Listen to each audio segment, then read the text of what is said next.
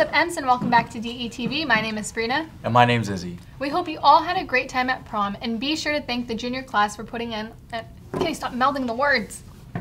He's melding. yeah, I'm like trying to do it. Like, um, be sure to thank the junior class for putting on an unforgettable dance.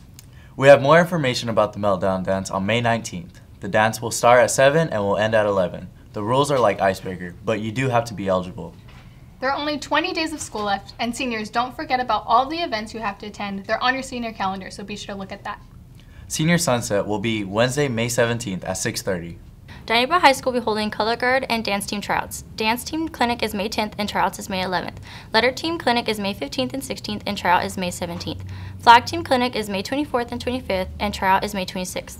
All clinics will be held at the DHS Band Room. The DHS Band Guard and Dance Team compete all over the Valley as well as Pismo Beach and Southern California.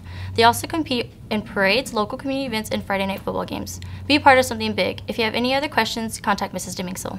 And now to Sam and Emmanuel for sports. Hi, I'm Sam. And I'm Emmanuel. And welcome, back, to DTV Sports. Today, softball will be taking on Kingsburg away, and on Friday, they will take on Selma at home. Make sure to go support a tennis team as they enter the playoffs on a winning streak. Baseball will take on Emmanuel at home today, while on Friday they will travel to take on Emmanuel away. Well, that's all for this weekend. Shields, Shields up. up. Thank you, Simon Emmanuel. Grad night is May 20th, and the last day to pay for your spot on the bus is tomorrow, May 3rd. Well, that's it for us. See, See you, you, next, weekend. weekend.